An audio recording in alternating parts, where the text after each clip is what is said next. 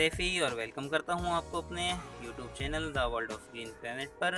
उम्मीद रखता हूँ कि आप लोग अच्छे होंगे और खैरियत से होंगे। दोस्तों, जैसा कि आप देख रहे हैं, मौसम में चेंजिंग आती जा रही है। हमारा जो यहाँ का जो क्लाइमेट है धीरे धीरे जो है समर से विंटर में बदलता जा रहा है और जो हमारे यहाँ का तापमान है, वो भी धीरे धीरे माइनस होता जा रहा है। दोस्तों, ऐसे सीज़न में जो है, जैसे हमारे यहाँ पे अब ठंड धीरे धीरे होती जा रही है, ठंड का समय करीब आता जा रहा है तो हमारे अडेनियम प्लांट्स जो हैं, इन्हें हमें कुछ, इनके लिए हमें केयर करनी पड़ेगी, कुछ हमें इनका ध्यान रखना पड़ेगा, और इनके लिए जो है, मैं आज कुछ टिप्स बताने जा रहा हूँ, जो आप अपने अडेनियम प्लांट्स को विंटर में केयर कर सकें, ठंड में अपने प्लांट्सों को बचा सकें, ताकि आपके प्लांट्स जो है, मरे ना। दोस्तों, आज का जो हमारा मेन टॉपिक ये है कि विंटर में हमें अपने प्लांट्स की, अपने अडेनियम प्लांट्स की केयर कैसे करनी है। तो दोस्तों, ये जो है, ये सभी हमारे अडेनियम के प्लांट है और जैसा कि ठंड आते ही हमें अपने अडेनियम प्लांट्स की केयर के लिए हम तरह तरीके के उपयोग यूज़ करने लगते हैं। दोस्तों, सबसे पहला मोस्ट इम्पोर्टेंट तो हमारे लिए ये है विंटर में जो है, हमें जो है, बिल्कुल भी ज़्यादा पानी नहीं देना है अपने अडेनियम को। जितना हो सके कम से कम पानी देना है। लगभग 20 से 25 दिन में या फिर आप महीने में पानी दें अडेनियम को। और पानी जब भी अपने अडेनियम को दें, जब बिल्कुल हमारी सॉइल इस तरीके से हमें बिल्कुल सूखी हुई दिखाई दे। जैसे एकदम बिल्कुल ड्राई हो रही है, इस तरीके से हमारी सॉइल एकदम ड्राई होनी चाहिए। उसके बाद ही हमें वाटर देना है। और पानी की टेंशन नहीं है, क्योंकि जो हमारा ये कोडेक्स होता है डेनियम का, ये अपने अंदर पानी ऑलरेडी स्टोर करके रखता है। इसलिए अगर हम ज़्यादा समय तक भी अगर इसे पानी नहीं देंगे, कोई प्रॉब्लम नहीं होगी, ऐसी कोई दिक्कत नहीं होगी। दोस्तों, बस यही है मैन पहले तो पहली टिप्स यही है हमें कि हमें इसमें जो है वाटर का खास करके ध्यान रखना है। इसमें ज़्यादा हमें वाटर नहीं देना है।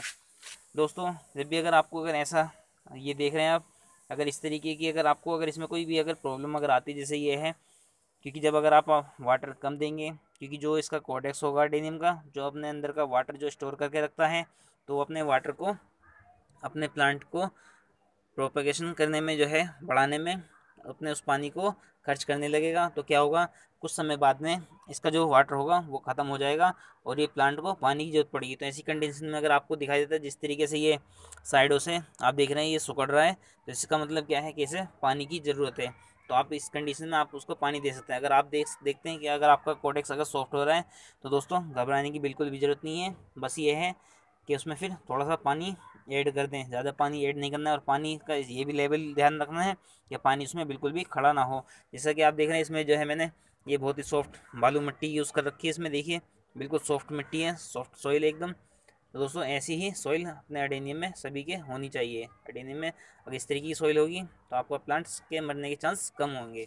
और जो है, ठंड में हमें इस चीज़ का भी ध्यान रखना है कि ये हमारी सॉइल तो सॉफ्ट होनी चाहिए और हाँ एक चीज़ और, दोस्तों, जब अब तक जिन अडेनियम लवर ने अपने अडेनियम रिपोर्ट कर चुके हैं तो बस अब कोई भी रिपोर्ट ना करें, क्योंकि अब इनका डोरमेंसी का पीरियड स्टार्ट हो चुका है। अब कोई भी जो है, इन्हें रिपोर्ट करने की कोशिश ना करें, क्योंकि अगर आप अगर इन्हें अब रिपोर्ट करते हैं, हो सकता है आपका प्लांट उससे मर भी सकता है। आप कुछ समय का इंतज़ार करें, कुछ दिनों का थोड़ा सा वेट करें, क्योंकि ठंड में जो है ये प्लांट्स डोरमेंसी में चला जाता है और ऐसी कंडीशन में इसे जो है रिपोर्ट हम नहीं कर सकते हैं।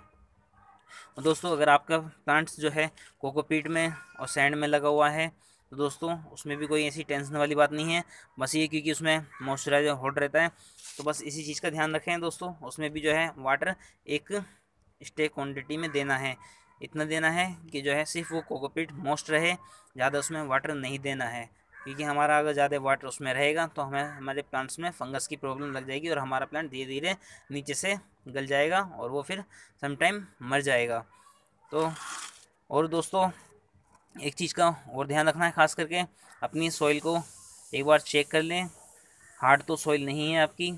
और एक चीज़ और दोस्तों, अगर जैसे ठंड में, अगर आपके यहाँ पे ज़्यादा अगर ठंड पड़ती है, जैसे अगर माइनस फोर डिग्री अगर या पाँच से नीचे अगर माइनस पाँच से नीचे अगर अगर पारा अगर जाता है, अगर ठंड इतनी ज़्यादा अगर पड़ जाती है तो दोस्तों क्या करें? अपने अडीनियम को सॉइल से बाहर निकाल के रिमूव करके सारी सॉइल उसे अपने जो है इंडोर रख लें इंडोर स्टोर कर दें। उससे कोई प्रॉब्लम नहीं होगी। प्लांट जो है हमारा नहीं मरेगा, बस ये है अंदर स्टोर करके उसे रख दें, उसकी सारी सॉइल रिमूव कर दें। तो दोस्तों ये जब करना है, जब अगर हमारे यहाँ पे जब अगर पारा अगर माइनस फाइव डिग्री से नीचे अगर जाता है तो हमें ये कंडीशन इनके साथ में करनी पड़ेगी।